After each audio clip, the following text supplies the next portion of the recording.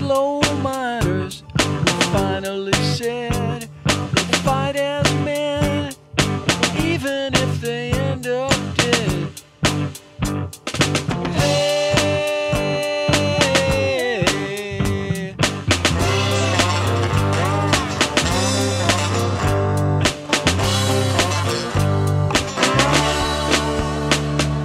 Nineteen fourteen, Colorado.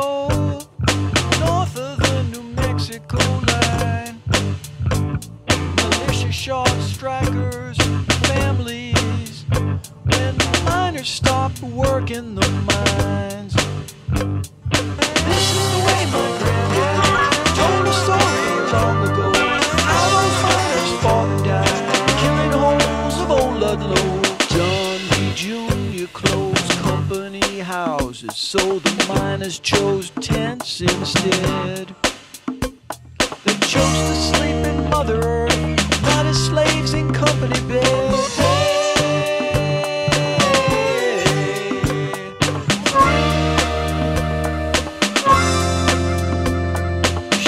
Shots would fly by their heads for no reason at all.